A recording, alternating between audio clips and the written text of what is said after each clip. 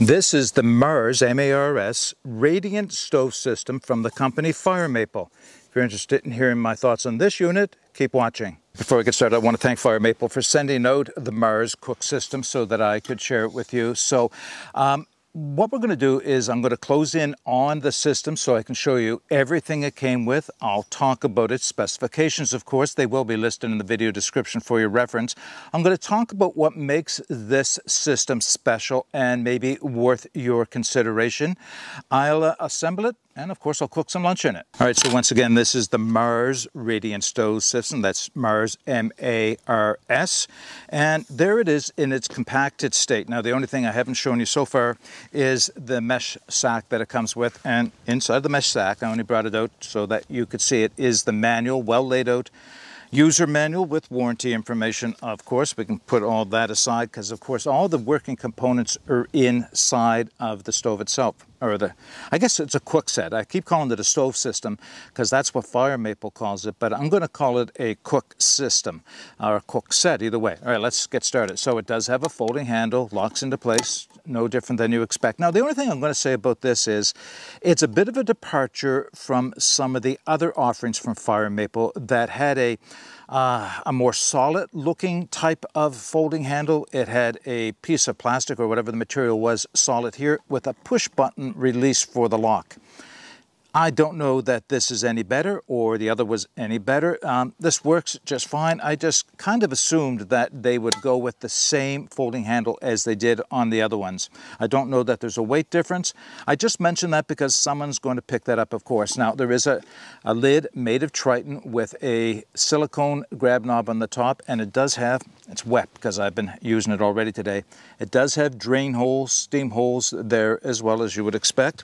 Now, there, all the components inside. I'm going to explain what that is in a moment, but let's just, now I'm going to show you the rest of it. I just want to show you the inside of the pot. So it is hard anodized aluminum. It does have a neoprene sleeve around the outside and it does have a heat exchanger on the bottom where it will sit on top of the burner itself. So very much similar to the other offerings from Fire Maple and you know, pretty much any of the other big name companies as well. One last thing I'll show you before moving on is that there are gradient markings down the inside. Going to be hard to see on the camera. And it says uh, 32 ounces, one liter, and it maxes out, I believe, at 1.2 liters. There is a max fill line just above the one liter line up here, but there's still space above that. So that's the functional max. So you can get more in it it's just not a good idea to do that because, of course, it's going to boil over. Let me put the pot down, bring the rest of it up. A small, nice piece to have is this little bowl that came with it. It is also made of Tritan. It's a nice bowl. It's a reasonable sized bowl. It's not a huge bowl. I'm going to say it's probably 500 mils, maybe maybe between 5 and 600 mils. That's the thing, though. They don't give me any measurements for it. I think I wrote it down. If I did, I'll put it in the video description what the capacity of this is. I guess maybe one little thing they could have done here is just to put a few gradient markings on the outside. So help you measure your water. Uh, I know it's inside of the pot, but maybe just help you measure other ingredients inside of the bowl as well before you move on. All right, let's put that aside. Now to the main piece of the stove. What makes this unique and different from the other stoves, certainly in Fire Maple's lineup, is this burner. So this is a radiant stove system. So it does not have an exposed open flame, as you'll see when I get it started up. This whole top glows red, and that, that has a couple of key, real key features or key advantages to open flame type of burners. Number one, and this is probably where I should point out the intended purpose as far as the design goes. I mean, you can use it any way you want, but this radiant system was designed to be used in very cold environments at high altitude where the oxygen is less, so the air is rarefied. It is very wind resistant and it is not as dependent on a lot of oxygen as stoves are that uh, as they would be at lower altitudes. So it has that advantage of being better at higher altitudes. Now this is not unique or new to Fire Maple. This is their version. MSR has been doing that for some time, as I believe other companies have as well. In fact, MSR has two stove systems that I looked at them because I thought I wanted to see just how similar they were and what features. And what what I'm finding is is that the Mars Radiance system seems to have picked some of the best features from the MSR Windburner Duo and Reactor systems. And I'll let you go and research those uh, if you want to do some comparisons. One thing I'll tell you right off at the top is they are much more expensive than the Fire Maple Mars system. So uh, if you like the idea of having one of those MSR systems because you have a need for that type of technology, but you just don't want to pay those prices, then this is what makes this worth looking at. But one of the things I'll say about it though, it ends up, because of this radiant system, it ends up being heavier than a simple open flame type of burner.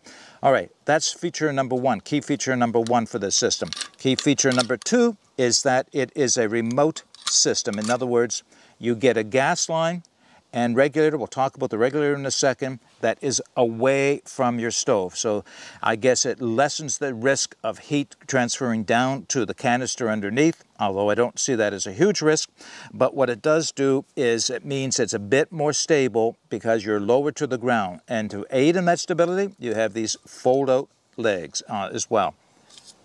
All right, so there we go.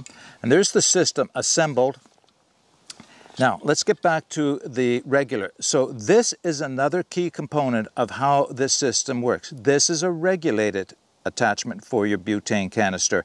We've talked about that in other videos as well. That having a regulator a pressure regulator like this in your on-off valve allows you to get much more control over the gas flow. That's number one. Number two, it will work better or more consistently with a more consistent output down into much colder temperatures. I mean, it won't take you way, way down because that's dependent on the fuel you're using as much as anything else. But it will allow you to go into much colder temperatures and it will produce a consistent flame as the temperatures drop and as the pressure in the canister drops. So a regulator is a great feature. It's not a must-have. It's just a nice added feature, especially for people who like to go out in the wintertime and still use a butane stove because Historically, they don't work so well in cold temperatures. Well, if you have a, a regulated system like this and a Mars burner like this or a radiant system like this, then you're going to be able to go into much colder temperatures. So those two things together combine to make this system work the way it does. All right, so those are the key features. So the last thing to show, oh no, there is one more thing. The pot itself does not lock on. It simply sets on. And I, I wondered about that as I think that's, I thought at first, that's a bit of a step backwards because some of the others you put them on and lock. Well, what's nice about this is there is it's stable. It's not going to fall off, but you don't have to mess with it to get it off of the burners. Just lift on and set down. Okay, here is the last piece I want to show you. This is an attachment that goes on top of the burner, stretches to fit it like this. So now I can use the Mars Radiant system with any other pot or pan. So if you wanted to take a fry pan on along or another pot, maybe a much larger pot, uh, then you can do so with this riser grill, pot stand, whatever you want to call it, on top of the system here. I will say though, this makes it more subject to cross breezes. Now the Radiant system is nice in that it's it's less affected by the flame, but you know, if you got wind coming across your burner, you're going to lose some of your heat. You know what I found is really nice about this is using it with a fry pan. Because of that radiant system, the heat is distributed uh, better across the bottom of any pan that I'll use on top of this because there's not a small direct flame hitting a specific spot on the pan, creating a hot spot as well. So this is great for that reason. All right, enough talk. Let's assemble it. Let's cook some lunch. All right, I'm going to put my gas canister on.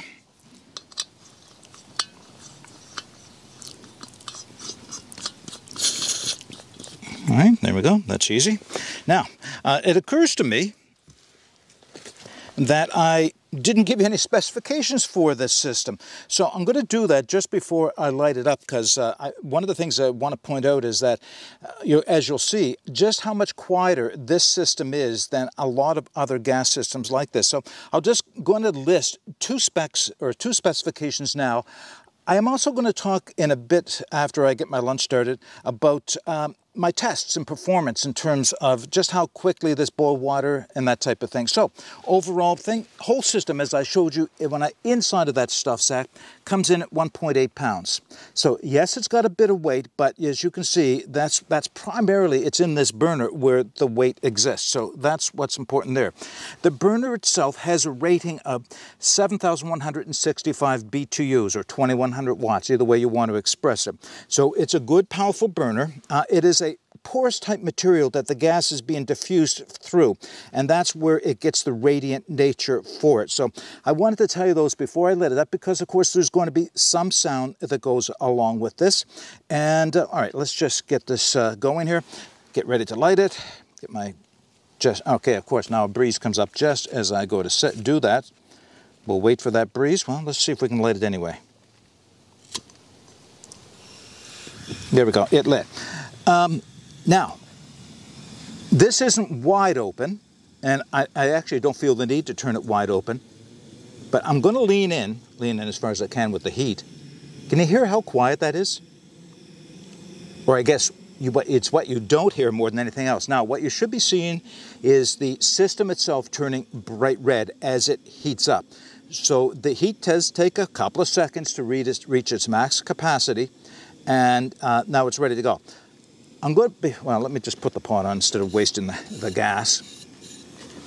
And I can just set the pot on and I'm good to go. So I have two cups of water in this. I'm not going to wait to give it a boil time on, on this two cups of water because I'm, well, actually I want to do that now before the water starts to boil. And that is put in my eggs.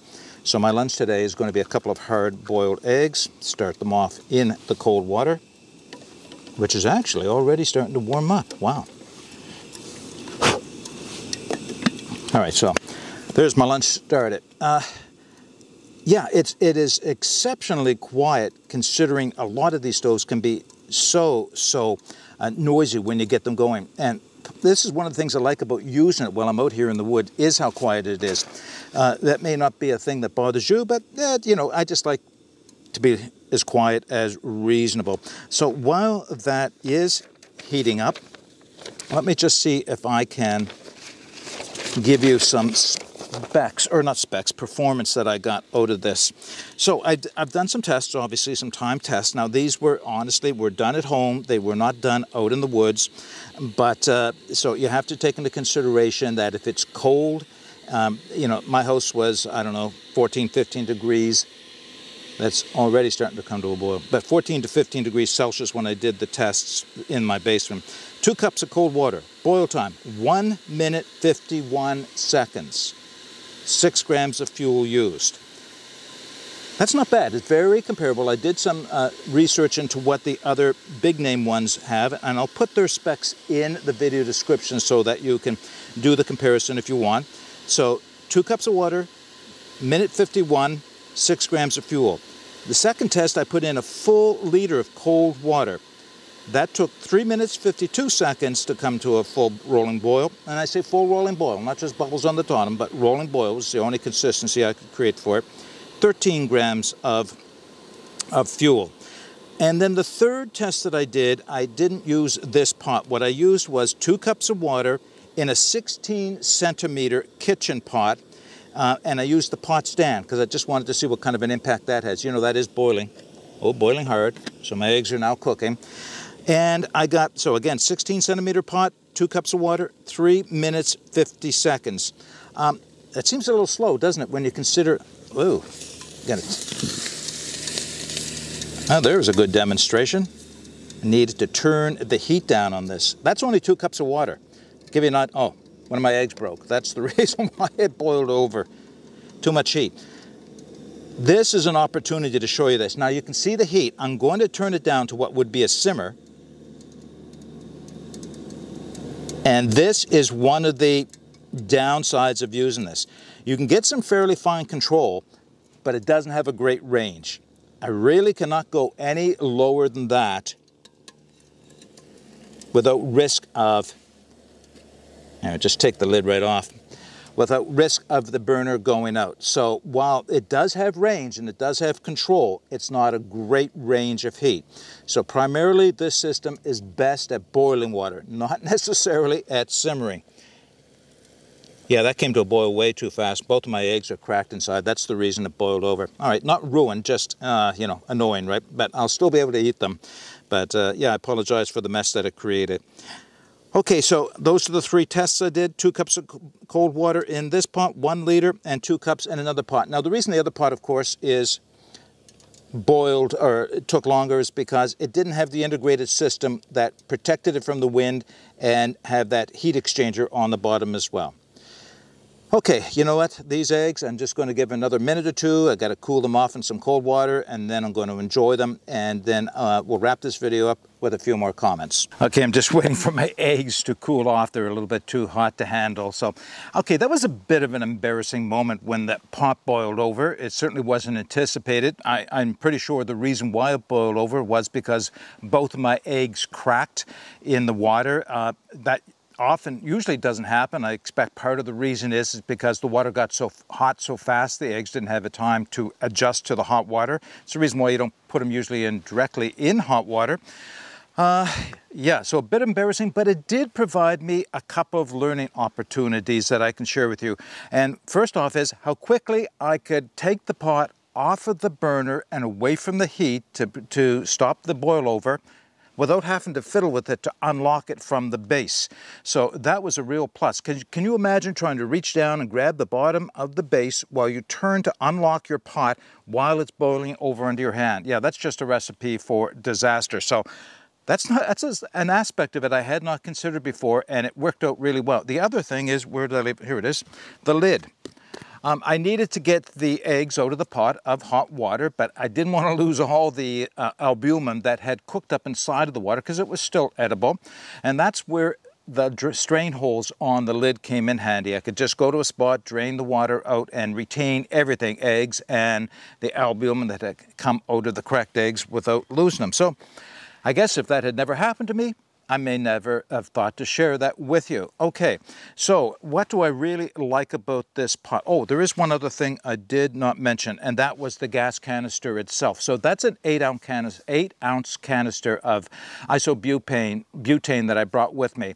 Uh, there is uh, no way that I can figure out to get all of the components inside of the pot with the gas canister. If I leave the bowl well, actually, no, the bowl can stay. If I use the bowl, but leave the pot stand off and leave that home or carry it separately, then I can get everything in. But with that pot stand, it they it, well let's put it this way. It'll go down inside easily in fact that canister sits inside of the bowl perfectly. So if you're worried about scratching the inside of your pot this the burner itself eh, or the the canister of gas will both fit inside of the bowl. So that's a bit of a plus for the bowl. Maybe you just want to leave the bowl home at home. It really does not take up any extra space. And well right now my eggs are cooling in it in some cold water to get down to a temperature where I can handle them.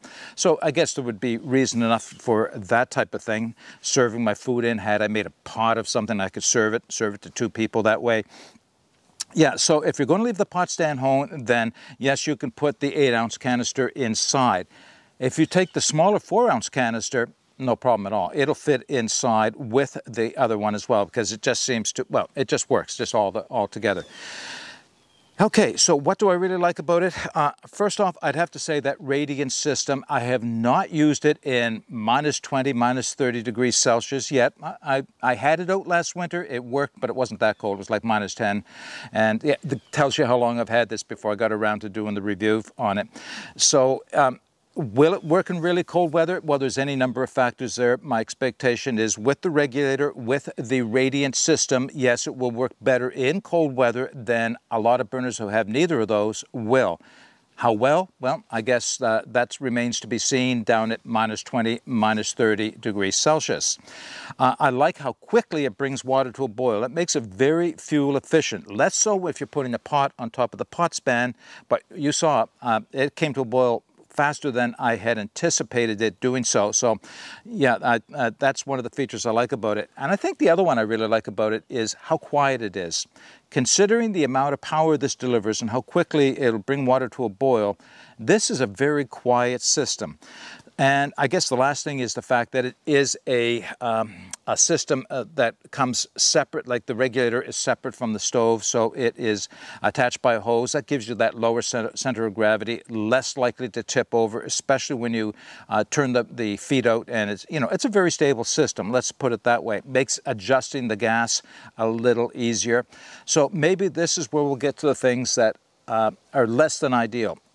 I like the regulator, the, the gas regulated system. I really do, it, because of all the reasons I mentioned earlier.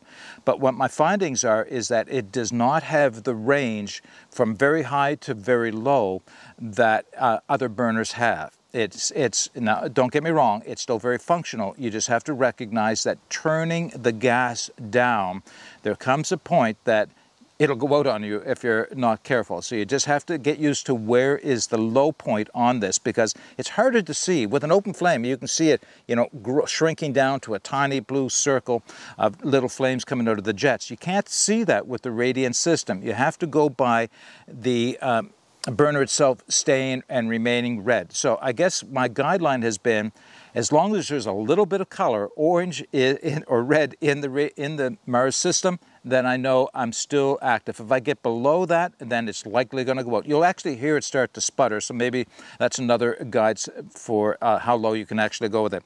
I have not turned it up to full blast. What I have found is that there's no need to. At the high end, you can have it roaring hot and continue to open it up but it doesn't seem to produce any more heat or any more pressure. So I guess that's also a, the nature of these regulated systems. Uh, and besides, you get better fuel economy if you don't open it up to full blast. It, there, it just works better that way. It may take a couple seconds longer, but uh, you save more fuel, and I think that's important over the long run. Maybe not just for a day hike, but you know, if you're going out for multiple days or you're in really cold weather and you have to boil longer, maybe you're melting snow, you want to be as fuel conservative as you reasonably can be. Okay, I think I've put all my points out there for you. Um, I will, of course, put the links to where you can purchase this system or at least take another look at it to see if it's something that you're interested in. I will put all my information, my including my specifications, my testing that I mentioned will be in the video description, and the comparisons I made with the MSR systems, the two of them. They'll all be in the uh, video description below. I'd invite you, if you have any comments or questions, put them in the comments section below. But until next time, get out and explore and take that path less traveled because it will make all the difference. Bye for now.